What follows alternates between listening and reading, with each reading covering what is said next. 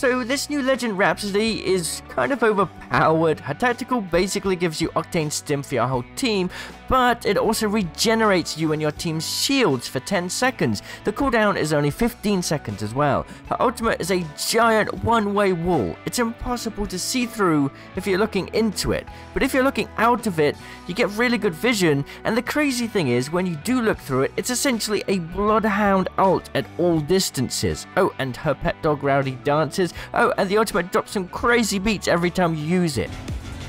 yeah, let's go.